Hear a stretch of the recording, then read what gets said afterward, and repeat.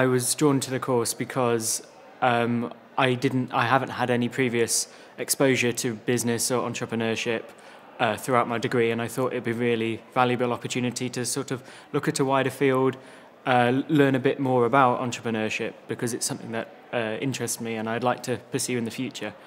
It helps me to rethink about my research strategy and my research project, um, but it also helped me to broaden my my view of the field and and apply my knowledge in all different types of sector and potentially make a combination which makes something unique.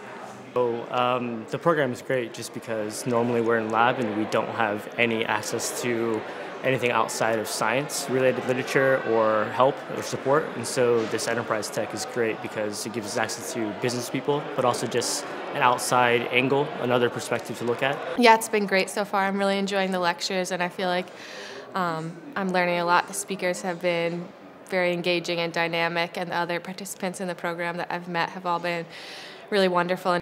Uh, we have some deliverables from this course, right? So uh, to write the commercial feasibility report, to learn how to pitch, and to make a video.